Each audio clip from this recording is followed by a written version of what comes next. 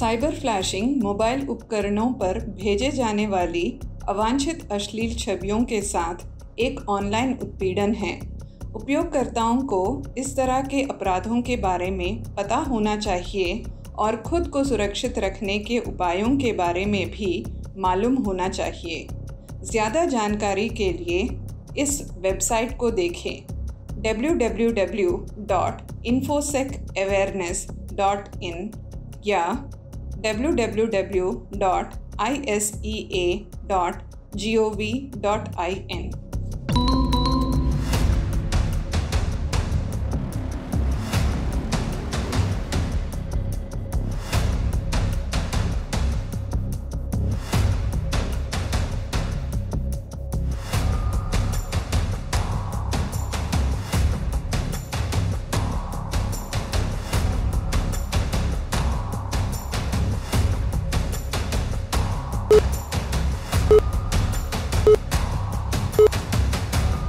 for calling Cyberabad. How may we help you?